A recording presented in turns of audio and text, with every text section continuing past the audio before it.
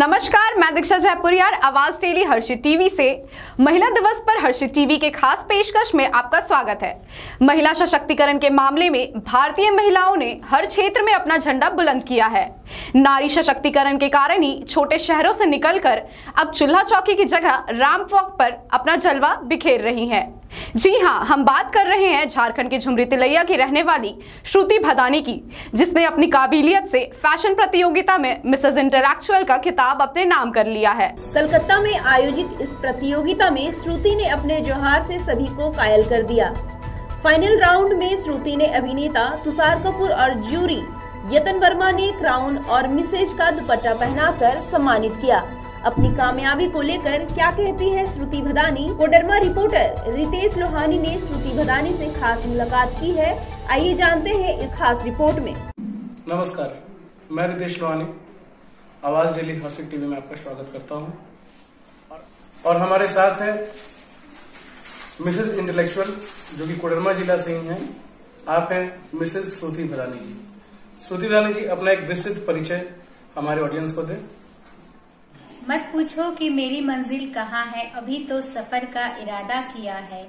नहारूँगी हौसला उम्र भर, ये मैंने किसी से नहीं खुद से वादा किया है। आप सभी को मेरा नमस्कार। मैं श्रुति भदानी झारखंड की झुमरी कलिया शहर से हूँ।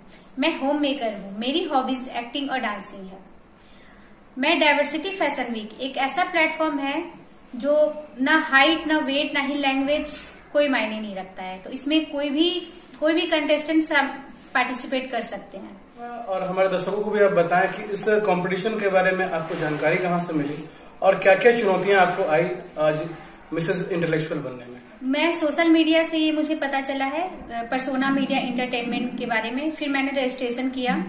उसके बाद मुझे टेलीफोनिक इंट्रोडक्शन भी मैंने किया। फिर सेमीफाइनलिस्ट में गई। जब वहाँ, जब मैं वहाँ पहुँची तो इंट्रोडक्शन टैलेंट राउंड हुआ। फिर उसमें उसके बाद मैं फाइनलिस्ट में फाइनलिस्ट में हुई। क्या आप हमारे दर्शकों को ये बताना चाहेंगे कि इससे पहले भी किसी कंपटीशन में आपने हिस्सा लिया है? और अगर ओपेरा जो इंटरनेशनल लेवल पर है वो मैं टेलीफोन मतलब सारा कुछ मोबाइल में हुआ था उसमें मैंने कभी ये मेरा ये फ़र्स्ट प्रेजेंट है कि जो मैं ऑफलाइन ऑफलाइन पार्टिसिपेट की हूँ। आगे मैं इसी में पार्टिसिपेट करना चाहती हूँ परसोना मीडिया इंटरटेनमेंट क्योंकि ये इंटरनेशनल लेवल पे हो रहा है। तो मैं और आगे बढ़ के और विनर होना चाहती हूँ इसमें और आगे बढ़ना चाहती हूँ। बहुत कुछ सीखने को मिला इससे हम लोगों को। आज आप मिसेस इंटेलेक्चुअल के रूप में हमारे कोडरमा में आ चुकी हैं।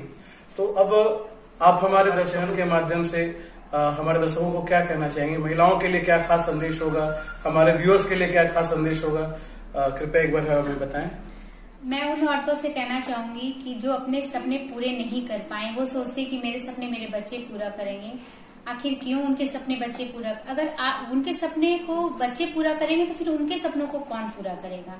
इसलिए खुद कदम आगे बढ़ाएँ और बहुत अच्छी अपॉर्चुनिटी है और जो औरतें सपने को दबा लेती है ऐसा नहीं है। किसी भी उम्र में हम लोग पार्टिसिपेट कर सकते हैं ये ब्यूटी प्रेजेंट ऐसा है। इसमें 62 इयर्स के लोग मिस्टर कैटेगरी के थे जो पार्टिसिपेट किए हैं 58, 59 क्लासिक क्लासिक एज के। जो पार्टिसिपेट किए हैं। और अपने बच्चों के सामने वो खुद एक रोल मॉडल बने। और इस कड़ी में हमारे साथ उपस्थित है मिसेस श्रुति भदानी के गुरु राजेश भदानी जी। आइए उनसे जानना चाहेंगे कि श्रुति भदानी के अंदर उन्होंने क्या देखा और इस टैलेंट के पीछे उनकी क्या सोच है उनका क्या विचार है। राजेश भदानी जी। इनमें प्रतिभा बहुत है। इसमें निकालने का हम काम कर रहे हैं, ये चाहे बहुत आगे बढ़े। ऐसा स्टूडेंट पाकर मैं धन हो गया। धन्यवाद राजेश मदानी जी। मैं बता दूँ कि राजेश मदानी जी भी कोडरमा ज़िले के जाने माने नृत्य प्रशिक्षक हैं और आज नटराज कला केंद्र के माध्यम से अपनी कला संस्कृति को बढ़ाने और निखारने में पूरे ज़िले के बच्चों को, के साथ अच्छा योगदान दे रहे हैं। तो आपने देखा कि हमारे साथ कोडरमा जिला लेया में रहने वाली मिसेस श्रुति भदानी जी। आज मिसेस इंटेलेक्चुअल बनकर हमारे बीच हैं और इन्होंने बखूबी अपने एक्सपीरियंस को और अपने कंपटीशन के बारे में हमारे दर्शकों को बताया है। ओम प्रकाश के साथ मैं रितेश लोहानी आवाज़ डेली हर्षिक टीवी